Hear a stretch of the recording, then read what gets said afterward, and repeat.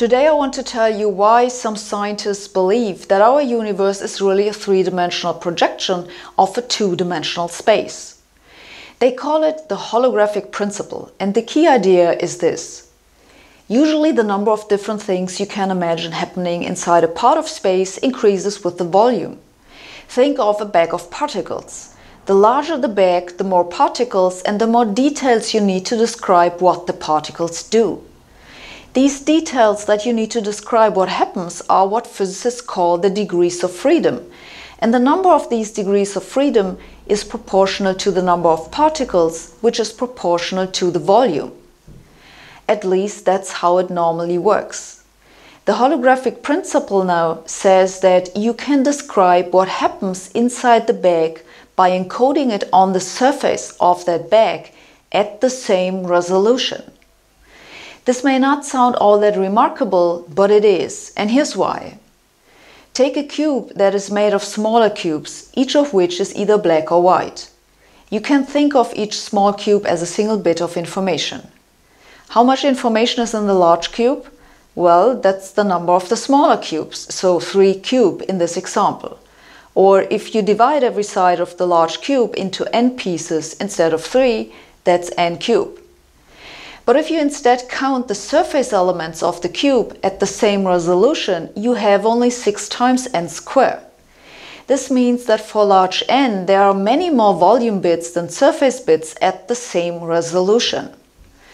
The holographic principle now says that even though there are so much fewer surface bits, the surface bits are sufficient to describe everything that happens in the volume. This does not mean that the surface bits correspond to certain regions of volume. It's somewhat more complicated. It means instead that the surface bits describe certain correlations between the pieces of volume. So if you think again of the particles in the bag, these will not move entirely independently. And that's what is called the holographic principle. That really you can encode the events inside any volume on the surface of that volume at the same resolution.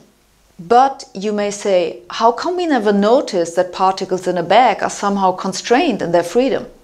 Good question. The reason is that the stuff that we deal with in everyday life, say that bag of particles, doesn't remotely make use of the theoretically available degrees of freedom. Our present observations only test situations well below the limit that the holographic principle says should exist. The limit from the holographic principle really only matters if the degrees of freedom are strongly compressed, as is the case, for example, for stuff that collapses to a black hole. Indeed, the physics of black holes is one of the most important clues that physicists have for the holographic principle. That's because we know that black holes have an entropy that is proportional to the area of the black hole horizon, not to its volume. That's the important part. Black hole entropy is proportional to the area, not to the volume of the black hole. Now, in thermodynamics, entropy counts the number of different microscopic configurations that have the same macroscopic appearance. So the entropy basically counts how much information you could stuff into a macroscopic thing if you kept track of the microscopic details.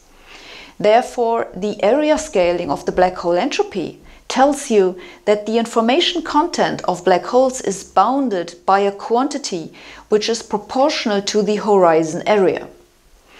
This relation is the origin of the holographic principle. The other important clue for the holographic principle comes from string theory. That's because string theorists like to apply their mathematical methods in a space-time with a negative cosmological constant, which is called an anti-de Sitter space.